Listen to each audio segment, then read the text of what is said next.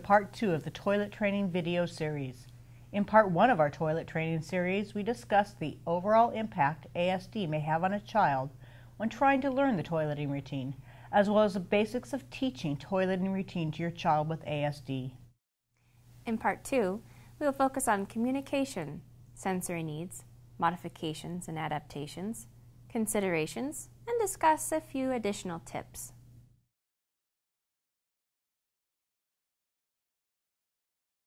Communicating their need to use the bathroom may be difficult for your child, so it will be important to establish routines, use visuals, and watch for body signals. It's also best to use the same simple words, signs, and pictures during each trip. Eventually, your child will need a way to independently communicate their need to go. We know that when individuals with ASD become stressed or anxious, their ability to use words is decreased. Therefore, a child who sometimes is able to verbally say bathroom may not always be able to articulate at the appropriate time. Having a visual support available when language is difficult to retrieve will enable them to communicate effectively at the right time. This visual support can also be used to communicate their need to use the bathroom in different places as well. Some children may refuse to sit on a toilet at first. If this is your situation, work on sitting on the toilet before even beginning the toilet training program. Set a goal to practice sitting on the toilet six to eight times a day. You can start with a short duration if need be and gradually increase the time as you progress. Other options for teaching this skill are having your child start with their clothes on at first to become accustomed to sitting on the toilet, or allowing the child to sit with the toilet bowl covered. You can use cardboard under the seat, gradually cutting a hole larger and larger, or a towel under the seat that is gradually removed. Make sure your toilet seat is comfortable and the correct size. If your child uses a potty seat on the toilet, start with it on the floor rather than up high. Using a timer to visualize how long they will have to sit until the practice is over will help them understand the expectations ahead of time. Remember to motivate and support their effort with a special reward.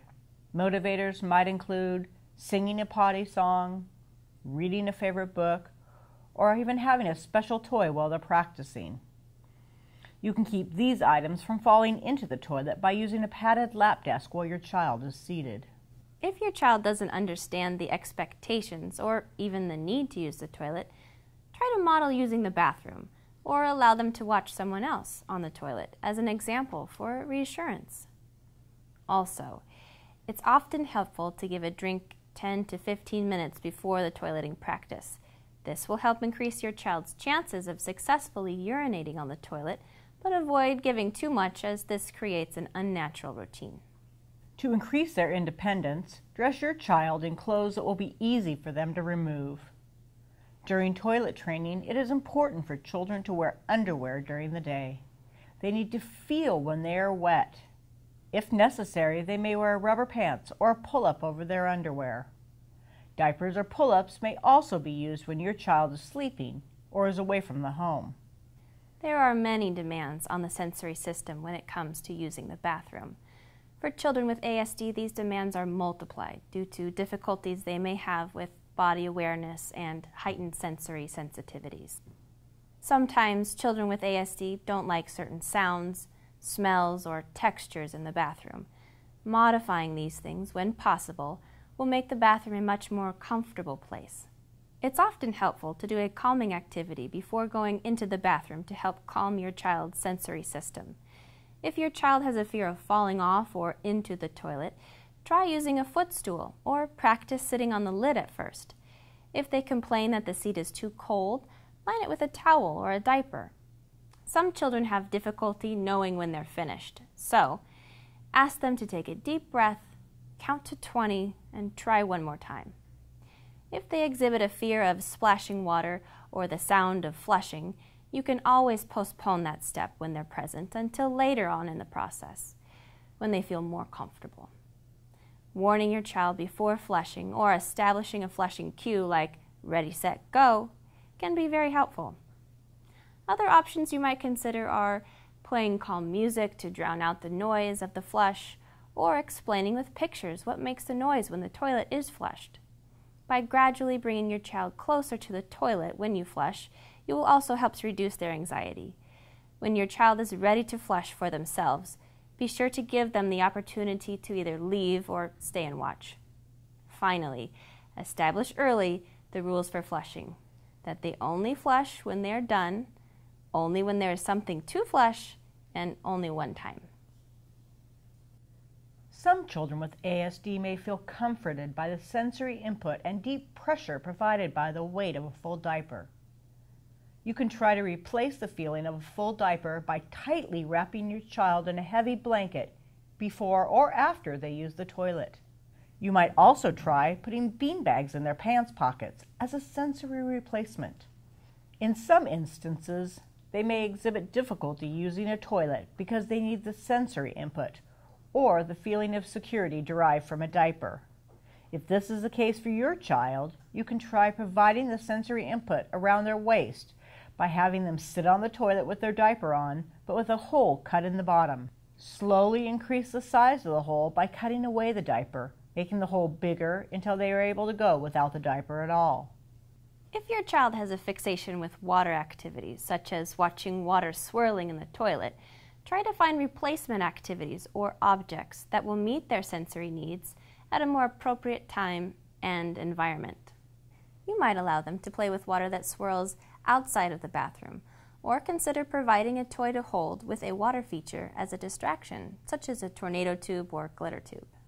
When a child is overly interested in flushing, consider covering the toilet handle to remove it from sight, or give them something to hold and manipulate to distract them from the toilet handle. Providing a visual sequence to show when to flush, after replacing clothing, for example, may also alleviate some stress because they will know when they will have a chance to flush the toilet. Lastly, when it is time to flush, you can direct their attention by giving them a sticker to match up with a corresponding sticker on the toilet handle. For toilet paper roll issues, try rolling out the preferred amount ahead of time or giving them the toilet paper they need when they are ready. You might also provide a visual cue for how much, such as putting a clothespin on where to tear or making a line on the wall for where to stop.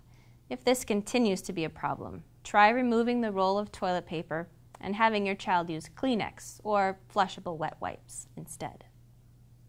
Sometimes there's resistance to wiping or using toilet paper because it is uncomfortable.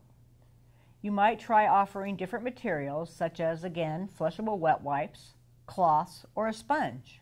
Remember to consider the temperature of the material you offer as some children may find either very hot or very cold items aversive. Finally, for a child that is struggling to understand how to properly clean themselves, consider using a doll as a model to show them what is expected and how to clean properly. If your child is not progressing like you think they should, try increasing fluids and fiber in their diet. In the end, you may need to enlist the help of a doctor if things become serious.